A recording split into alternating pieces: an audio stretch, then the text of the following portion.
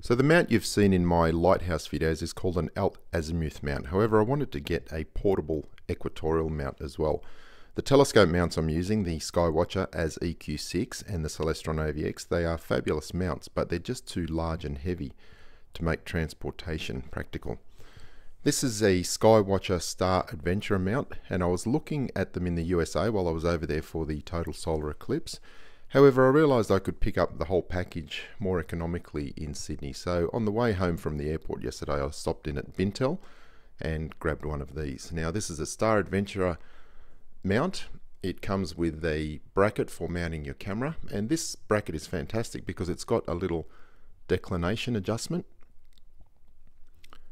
It's only motorized on the polar axis, so that's the equatorial axis that is aligned with the Earth's rotational axis.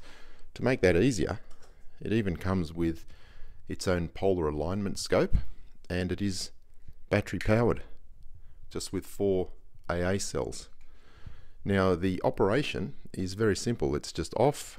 You can select sidereal tracking, which is for tracking the stars, solar tracking, and lunar tracking. So it just tracks at a slightly different rate for each of those celestial objects. It comes with a latitude base which allows you to angle and polar align correctly. Just a matter of loosening off this and then winding that wheel for the different latitudes.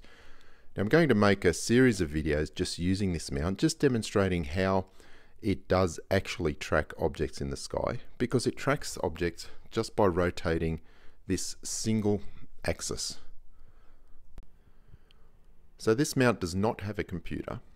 It's not programmed to follow the stars. It's a simple mechanical mount with a motor drive that simply rotates on this one axis. And it is that motion that is allowing us to track the objects in the sky once the mount is aligned with the rotational axis of the Earth. You'll see the camera can track the sun all day like that. Once the sun sets, the mount can continue for another 180 degrees. It's still actually following the sun. And then you'll see the sunrise, and then we'll continue tracking. Now I'm going to do my 24 hour time lapse on the telescope soon, but this little mount also has adjustments for the southern or the northern hemisphere it basically reverses the rotation. So you can expect to see a lot more videos featuring this mount because the way these equatorial mounts work, being able to track celestial objects with a single axis of rotation all day absolutely proves that these objects, the sun, the stars and the moon are not doing circles above a flat earth. Now I've seen people come to my channel saying that these mounts do work on a flat earth. It's completely wrong. It is just completely incorrect to say that because they don't. The only place they could work on a flat earth is directly at the North Pole.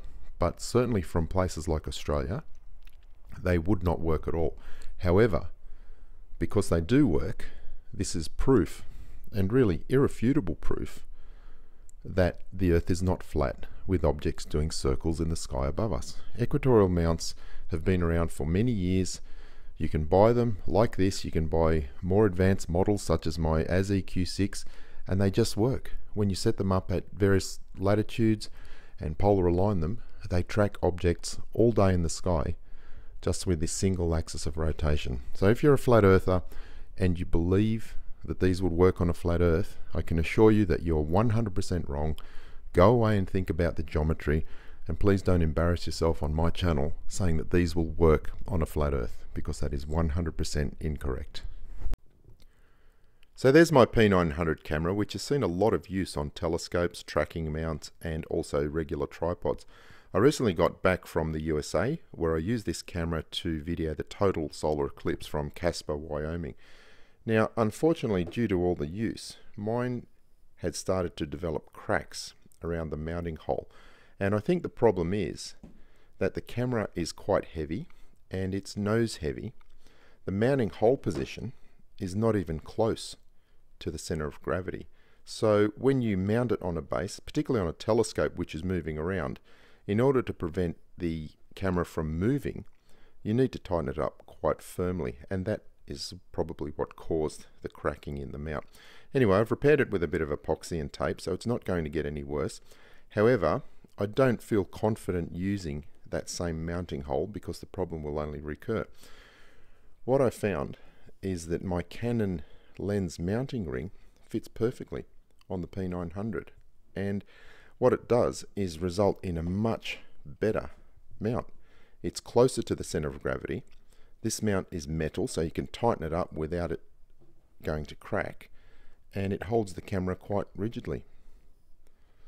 So I think anyone who uses a P900 a lot, this is a, good solution which will prevent the same problem occurring. So there it is mounted on the Celestron telescope and it's a far more rigid connection than just using the original hole and also it's better balanced. There's virtually no play in that movement. When I was using the original P900 hole directly on the piggyback mount, the nose heavy nature of the camera was resulting in some flex and the lens would actually angle down just slightly when the telescope was horizontal and then as the telescope moved to a vertical position the camera would tilt back slightly and that resulted in the sun moving around in the frame but with this more rigid connection we should have consistent results. So as you know I have a series of solar filters that I've been using in my videos, but I'm always on the lookout for something that will work better. And before heading off to the USA recently, I ordered one of these Rocolax 67mm ND 100,000 filters for the P900. When I arrived home yesterday, it had arrived, and I'm pleased to say that it's a really nice filter. It's optical glass, and it gives a natural white color on the sun. I'll just mount it to the P900 and show you how neat it is.